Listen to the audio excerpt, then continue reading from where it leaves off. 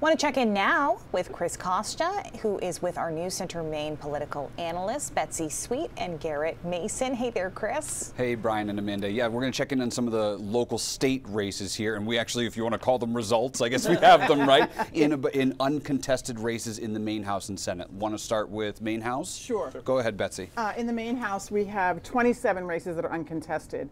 16 Democrats and 11 Republicans. So roughly, you know, about a fifth of the House is already decided because there aren't contested races in those in, in those seats. You know, I think it's important to remember that in Maine, every seat is up every two years in the House and in the Senate. So it's not like our senators have longer terms. So everybody's up for grabs this time, but we know already that about 20%. And that keeps the ratio about the same. I think is about what we're going to see ultimately um, when we get to the end of this night. How do you think this is going to? Oh, sorry. Go ahead, Garrett. No, no. I, Betsy's absolutely right. And like you know, Maine has a pretty unique process where you know fairly well in the spring like mm-hmm. who's running for what, and then there's another deadline in July where people drop out. So you know, it, it like Betsy said, we're about a fifth of the House in. Yeah. Some of them are predictable, some of them are not, but um, we're, we're, we're on our way. And then two in the Senate as well, right? Two, in the, two Democrats in the Senate are running unopposed. How do you think this is going to affect the balance of power in, in the, both houses right now? I mean, the Senate one seems to have less of an impact, right? Only two uncontested races there. Yeah, but we had the Democrats had such a large lead in the Senate this time, this past time. So I think they will lose some. You know, I think we'll, I think it'll get a little bit tighter. I don't think they're in any danger at all of losing control of the Senate.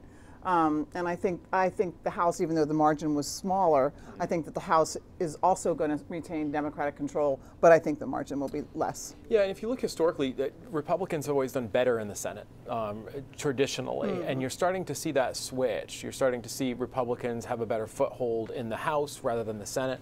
Um, I, I, think that's actually going to continue, um, mm. and I, I, don't know what we glean from that, but uh, for the past 20 years, Republicans have done better in the Senate. We had been talking about this with Don Carrigan earlier in the night. Do we expect that the um, congressional races could be a bellwether for how each county is going to end up voting. If, if, we have a you know a Republican or a Democratic candidate that gets picked in either of the con congressional districts, is that going to be an indicator of oh the the entire district is going to end up voting that way?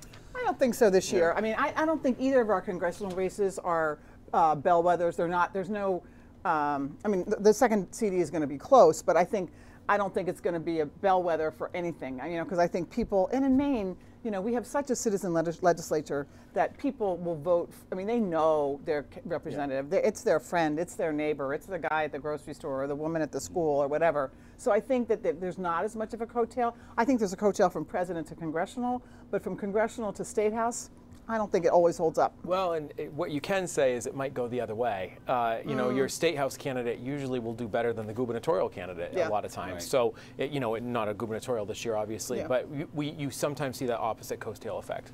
So, one thing that you and I were all talking about before we came on for this hit was we were talking about the number of early voting numbers, the uh, the number yeah. of ballots that were requested and the number returned. This was interesting. 388,000 more than that requested. 373,000 returned. That's a return rate of 96.2%. The word you said to me, Betsy, was that is unheard of. It yeah. is completely unheard of. I mean, I don't. I, I, I, bet that's a record in this country. You yeah. know, to have that many people um, request it, but then that many people return. So so many people requested, and then they, you know, like, well, I forgot, or you know, whatever gets lost in the mail or whatever. I mean, I think it it follows Maine's trend of being a very high voter percentage uh, state for turn for voter turnout. We take our voter voting very seriously in Maine. And you have to think that that number probably went a little higher today. People stopping by the polls yeah. and dropping them off. You know what? That was a good point of context. One thing that I forgot to clarify: those numbers are as of 3 p.m. today. So five hours have passed right. when people yeah. could be turning in those ballots. You know, maybe they turned them in after work, after when they picked up their kids from school, maybe right. waiting until 8 p.m. Time, trying to get those in. What's interesting about this process, right, is Maine changed its law in 2021, according to the Secretary of State's office. The election administrators can pre sort and process, they cannot count mm. the absentee ballots in terms of the results. Uh, but they can start doing the pre-sorting and the process seven days before election day. So it's a big time saver, mm -hmm. right? Yeah. Ballots get scanned as part of the tally today. today yeah. yeah. So when we're talking about, you know, uh, let's let's go with the 373,000 number of those just returned as of 3 p.m. Right? Well, we're talking probably about a third of the state, right? If not, Oh, yeah. maybe, Maybe uh, a little maybe a little more than that. Yeah, a little bit yeah, more. in terms of adults, adult, voting adults. Do, yeah, you, do you think that those early voting numbers, when we get them by municipality, will start to give us a really good indication of which way the congressional and federal races, the presidential, is going? I think so. This year, I mean, I don't know. I, last time, It's different this time. Yeah, it's different the, because- the makeup is different. yeah, and last, I mean, last time Republicans said don't vote early. Whatever you do, don't vote early. This Right. time there was an effort, I think, on behalf effort, of your yeah. party to say, yeah, no, go ahead and vote early. So I think we're not going to get like we don't know that all most of those are Democratic voters, and then No, it's going right. to switch or or Republican. So I don't know. I I mean, it, it'll certainly give us a flavor. I mean, if it if it's rep- represents voters in general.